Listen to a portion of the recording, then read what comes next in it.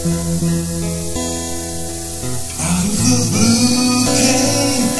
of those cool, strange encounters of fate. One of the sweet fire, like notes of the